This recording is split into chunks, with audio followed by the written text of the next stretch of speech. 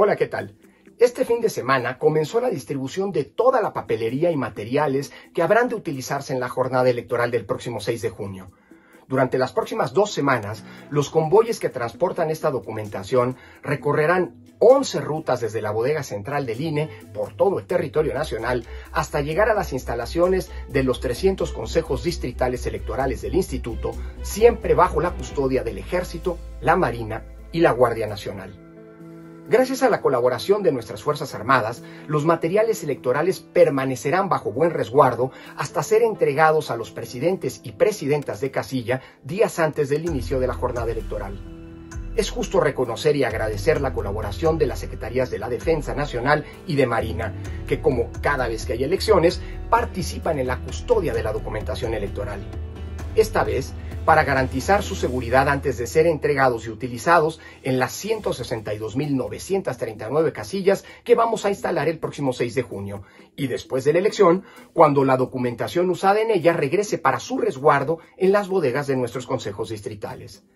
Con el banderazo de salida a la distribución nacional de estos materiales, se da un paso más en el proceso electoral más grande de nuestra historia y, al mismo tiempo, se conforma un eslabón adicional de la cadena de confianza de nuestro sistema democrático y que impide que en México se cometan fraudes electorales. Los materiales que en estos momentos están siendo trasladados por todo el país contienen boletas, actas, listados nominales, cuadernillos, tinta indeleble y otros instrumentos que habrán de ser utilizados por 1.460.000 funcionarias y funcionarios de casilla que son ciudadanos comunes, nuestros vecinos y vecinas que van a recibir el voto de la ciudadanía y que son los auténticos garantes de que nuestros votos sean contados bien. Se trata de 1.434 toneladas de papel que hoy están siendo distribuidas, que hoy salen en forma de actas y boletas y que regresarán en forma de votos, es decir, en forma de millones de voluntades ciudadanas libremente expresadas. Estos procedimientos, en los que la ciudadanía se involucra y participa activamente, son los que dan vitalidad a nuestra democracia.